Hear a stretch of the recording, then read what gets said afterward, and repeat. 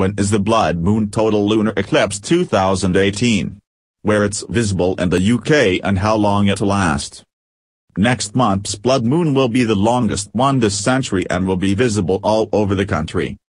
Britain will experience a full blood moon lunar eclipse next month, one which is expected to be the longest of this century by astronomers. It will be visible right across the UK, providing it isn't obscured by cloudy weather. The name comes from the fact the moon will take on a reddish tinge as all direct sunlight is blocked by the Earth's shadow. We haven't seen a blood moon in the UK since January 31st, which was also a supermoon. The reason for the reddish tinge is that the sunlight brightening the moon is refracted through the Earth's shadow and, just like a sunset, appears red as colors are filtered out. This is called Rayleigh scattering. What is a blood moon?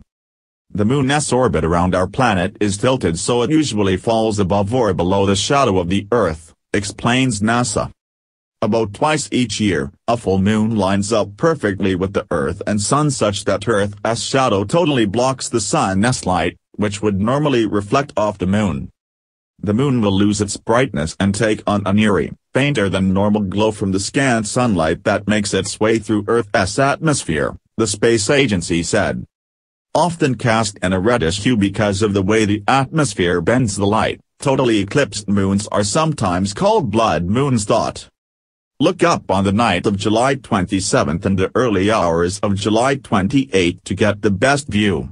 It shouldn't matter where you are in the UK, if you can get to an open space with a clear view of the sky, you should be able to see it.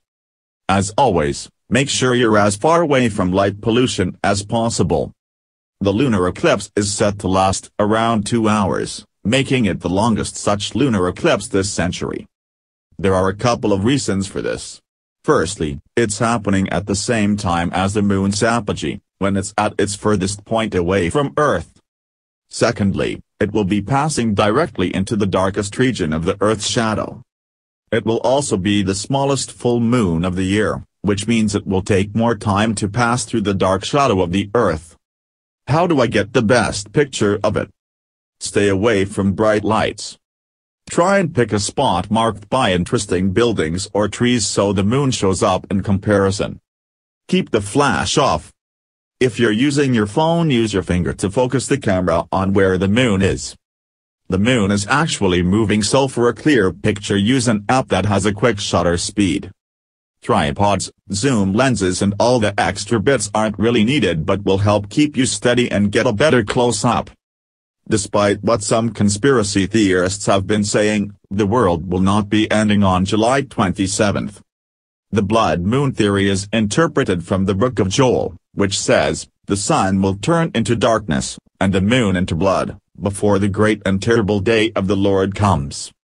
A similar passage in the book of Revelations reads, and I beheld when he had opened the sixth seal, and, lo, there was a great earthquake, and the sun became black as sackcloth of hair, and the moon became as blood.